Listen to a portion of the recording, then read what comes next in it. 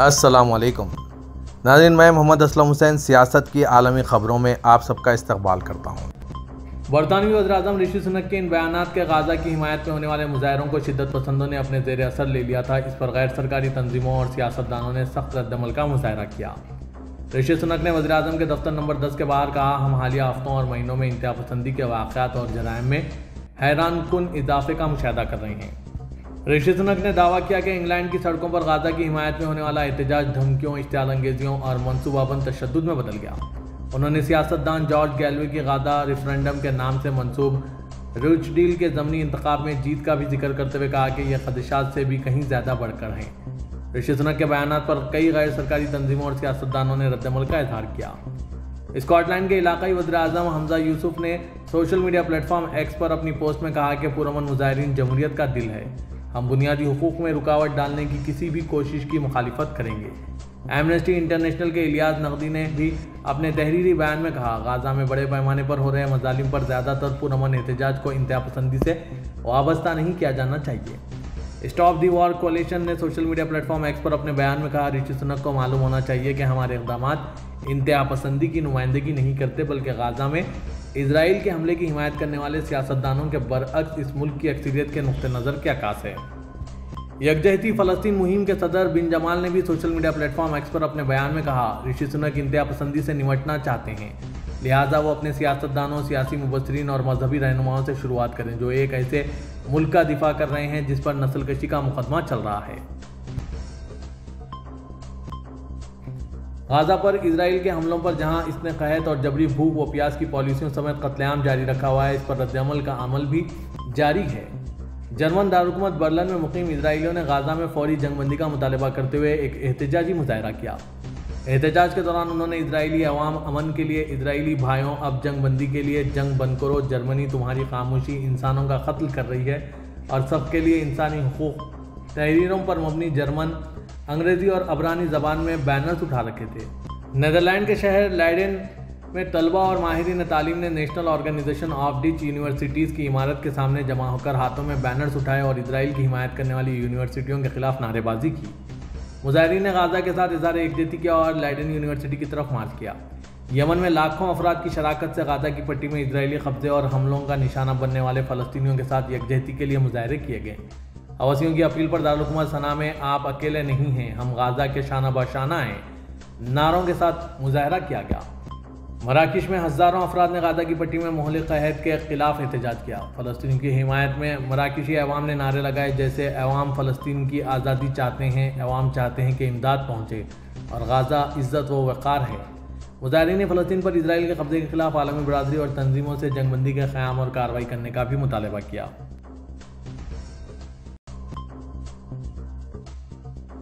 Gaza शहर में अल Rashid street पर इमदाद के हसूल के लिए जमा हुए फ़लस्तियों पर इसराइली फ़ौज ने अंधाधुन फायरिंग की, जिसके नतीजे में तकरीबन 112 फ़लस्तनी जाँ बहक और 1000 के करीब जख्मी हो गए थे। जुमेरात की सुबह पेश आए इस सानही की बैन अवी सतह पर शदीद मजम्मत की जा रही है। अल अरबिया की रिपोर्ट के मुताबिक इंसानी इमदाद के हसूल के लिए जमा हुए फ़लस्तियों पर हमले के दौरान जख्मी होने वाले फ़लस्तियों ने कहा कि इसराइली फोर्सेस ने इन पर इस वक्त गोली चला दी, जब वो अपने अहल खाना के लिए इमदादी सामान लेने के लिए ट्रकों की तरफ़ भाग रहे थे। इसराइली फौज की फायरिंग और गोलाबारी से हर तरफ़ नाकाबिल बयान अफरा तफरी फैल गई और सड़कों पर लाशों और जख्मों के ढेर लग गए। गाज़ा शहर के अलशिफा अस्पताल से चार जख्मियों ने रियूटर्स को बताया कि इसराइली फोर्सेस ने इन पर जानबूझकर फायरिंग की। कुछ जख्मियों ने कहा है कि इन पर टैंकों और ड्रोन्स के ज़रिए शेलिंग की गई। जख्मी होने वाले महमूद अहमद ने बताया कि वो चारशुबे की शाम से जुमेरात की सुबह आने वाले काफिले का इंतज़ार कर रहे थे। भूख की वजह से मैंने इस जगह जाने का ख़तरा मोल लिया, जहाँ बड़ी तादाद में लोग अपने बच्चों के लिए आटा लेने की उम्मीद में पहुँचे थे। उन्होंने बताया कि जैसे ही इमदादी ट्रक शुमाली गाजा में पहुँचे, वो इनकी तरफ़ बढ़े, लेकिन एक टैंक और ड्रोन ने इन पर हमला कर दिया। उन्होंने बताया कि वो शाम सात बजे से जुमेरात की सुबह पाँच बजे तक इमदादी ट्रकों के आने तक वहीं रहे। टैंकों और ड्रोन ने फायरिंग शुरू की तो वो भी ज़ख्मी हो गए ज़ख्मियों की मरहम पट्टी का कोई इंतज़ाम नहीं था और घंटों तक ज़ख्मियों के ज़ख्मों से खून जारी रहा। जहाद मोहम्मद ने बताया कि वो रशीद कोस्टल रोड पर नाबलिसी गोल चक्कर पर इंतज़ार कर रहा था, क्योंकि यह जगह शुमाली गाजा तक इमदादी पहुँचाने का मरकज़ी रास्ता है।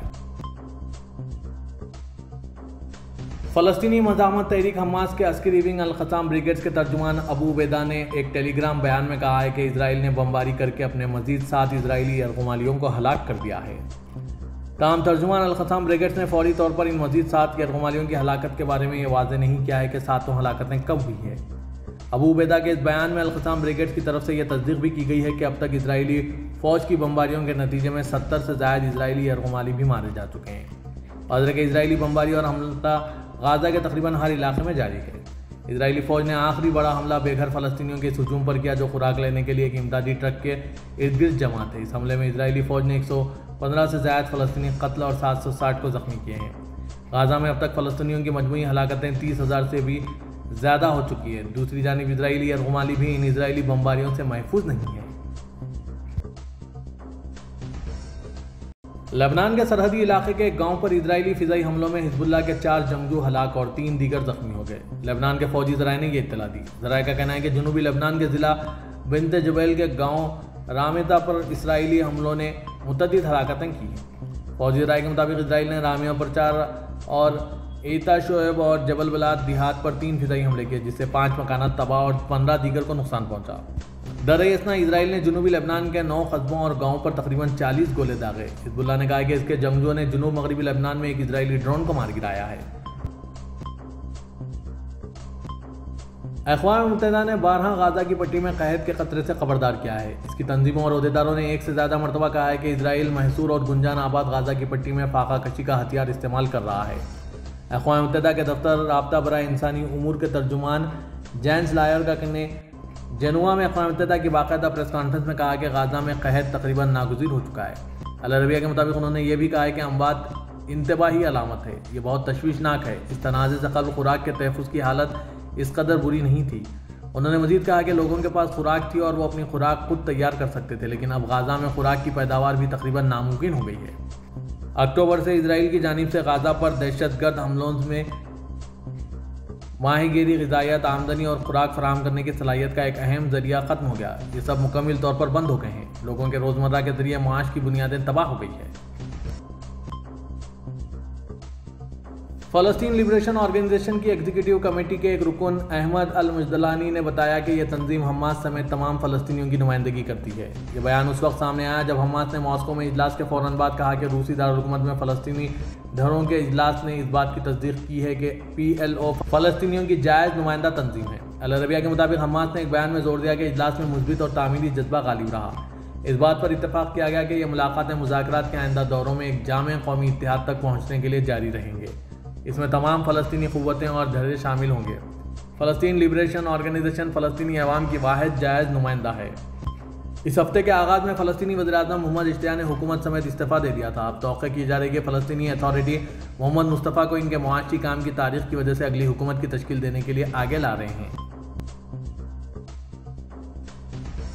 ईरान में गैर सरकारी नतज के मुताबिक इंतबात में हिस्सा लेने की शरह इकतालीस फ़ीसद रही। ईरान की सरकारी एजेंसी अन्ना ने गैर हतमी नतज पर मबनी अपनी खबर में इतला दी है कि मुल्क में मनदा पार्लियामेंट और ईरानी रहनुमाओं के इंतब और निगरानी और बरतरफी का इख्तियार होने वाले माहरीन असम्बली के लिए होने वाले इंतबात में तकरीबन पच्चीस मिलियन वोटर्स ने रायदही में हिस्सा लिया।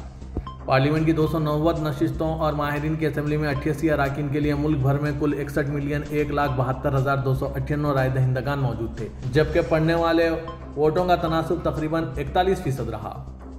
गैर हतमी नतज के मुताबिक दारकूमत तेहरान में तकरीबन पच्चीस फ़ीसद राय दहिंदगान ने पोलिंग में हिस्सा लिया।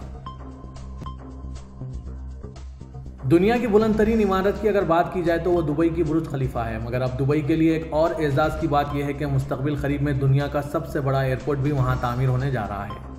गैर मुल्की जरा अबलाग के मुताबिक दुबई में तामीर किया जाने वाला अल मखतूम इंटरनेशनल एयरपोर्ट 2010 से काम कर रहा है, मगर अब इसे मजीद तोसी दी जा रही है। दुबई के जनूब मगरब में 20 मील की दूरी पर मौजूद यह एयरपोर्ट मुस्तबिल में दुनिया का मसरूफ़ और खूबसूरत तरीन एयरपोर्ट भी होगा। दुबई एयरपोर्ट अथॉरिटी का कहना है कि जब मखतूम इंटरनेशनल एयरपोर्ट का काम मुकम्मल हो जाएगा तो वहाँ हर साल 16 करोड़ से जायद मुसाफिरों की आमदोरफ मुमकिन हो सकेगी। सऊदी अरब में मसाजिदों में इफ्तार करने पर पाबंदी आयद कर दी गई। सऊदी वजारत इस्लामी उमूर और रबते की जानब से आयमा मसाजिद के लिए जारी हिदायत में रमज़ान मुबारक के दौरान मसाजिद में इफ्तार करने पर पाबंदी लगा दी गई। सऊदी वजारत इस्लामी उमूर का कहना है कि इफ्तार पर पाबंदी का मकसद मसाजिद में सफ़ाई सुथराई को बरकरार रखना और यकीनी बनाना है। इस हुक्मनामे में मजीद कहा गया है कि आयमा मसाजिद लोगों को इफ्तार करवाने के लिए किसी किस्म के एहतियात कबूल नहीं करेंगे। रमज़ान मुबारक में मसाजिद के बाहर मुख्त जगहों पर इफ्तार करवाने की इजाज़त होगी। मसाजिद में नमाज़ों और दीगर सरगर्मियों को रिकॉर्ड या, या नशर करने पर भी पाबंदी है। आयमा मसाजिद रमज़ान के दौरान तरावी को तवील करने से गुरेज करें और अवाम को रोज़ों के फ़वाद से आगाह करें। सऊदी अरब समेत अरब ममालिक में रमज़ान मुबारक ग्यारह मार्च से शुरू होने का इम्कान है। हरमैन शरीफिन इंतजामिया में दीनी उमूर के सरबराह शेख डॉक्टर अब्दुलरहमान अल सुदेश की निगरानी में रमज़ान मुबारक मनसूबे का ऐलान होगा। इस मकसद के लिए खसूसी तकरीब कल इतवार को एक बजकर पैंतालीस मिनट पर हरमैन शरीफिन इंतजामिया के सदर दफ्तर में मक्के मुकरमा में रखी गई है। हजर के हरमैन शरीफिन इंतजामिया ने मस्जिद हरम और मस्जिद नबी वसल्लम में रमज़ान मुबारक के दौरान लाखों ज़ायरीन के इस्तबाल इन्हें बेहतरीन खदमात की फरहमी और सहूलत के लिए जाम मनसूबा तैयार किया है। हरमैन शरीफिन इंतजामिया में दीनी उमूर के सरबराह शेख डॉक्टर अब्दुलरहमान अलसुदेश से मस्जिद नबी के आयमा ने मुलाकात की। मुलाकात के दौरान मस्जिद नबी के आयमा के फ़रज़ और पैगाम की अजमत के हवाले से तबादला ख्याल हुआ। दीनी अहदाफ के हसूल के लिए आयमा मसाजिद नबी पर रवादारी और अतदाल का पैगाम पहुँचाने की भारी ज़िम्मेदारी है। मुलाकात के दौरान, रमज़ान मुबारक के दौरान मस्जिद नबी वसल्लम में ज़ायरीन की खिदमत के मनसूबे पर भी बातचीत हुई है। शेख डॉक्टर अब्दुलरहमान अलसुदेश ने कहा है कि मस्जिद नबी के आयमा के हवाले से इंतजामिया ने जाम मनसूबा तैयार किया। हरमैन शरीफिन से मुस्बित पैगाम को दुनिया भर में पहुँचाने के लिए आयमा और खुतबा अहम किरदार अदा करते हैं।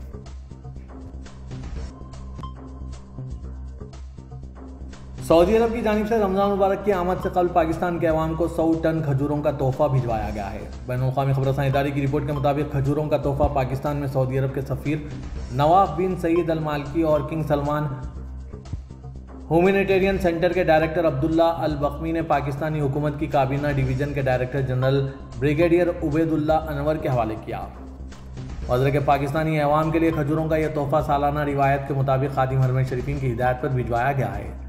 सऊदी सफ़ीर नवाब बिन सईद अल मालिकी ने इस मौके पर तकरीब से खिताब करते हुए कहा कि रमज़ान मुबारक में खजूरों की फरहमी किंग सलमान रिलीफ सेंटर का एक मनसूबा है। उन्होंने कहा कि इसके अलावा भी किंग सलमान रिलीफ सेंटर के कई मनसूबे पाकिस्तान में उमूर की अंजामदही में मसरूफ़ अमल हैं, जिनमें फ़ूड प्रोग्राम का अहम मनसूबा भी शामिल है।